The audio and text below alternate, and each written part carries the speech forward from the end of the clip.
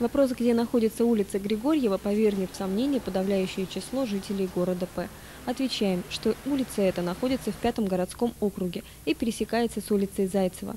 Как и положено малоизвестным периферийным переулкам, улица Григорьева 40 лет не знала капитального ремонта. Можно сказать, что она практически не проезжая была. Очень много была яма, и практически ей даже никто не пользовался. А вы, депутат городского совета Курицын, этой улицей пользовался, пользуется и пользоваться будет, по всей вероятности. Да, постоянно. Я с рождения здесь ходил, э, здесь родился, здесь вырос.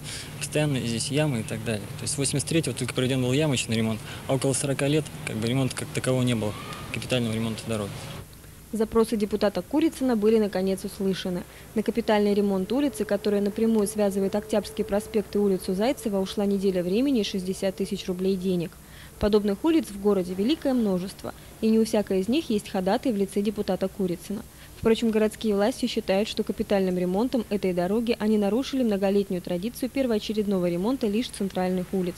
Отныне в списке дорожных ремонтных работ нет-нет, да и прошмыгнет захолустный переулок.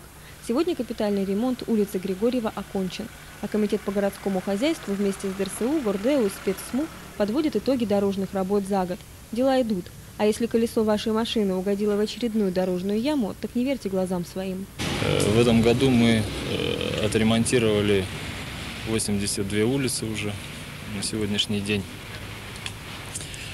Э, Ямочный ремонт выполнен, выполнено, э, выполнен капитальный ремонт улиц. Э, Уложено порядка трех тысяч квадратных метров асфальта.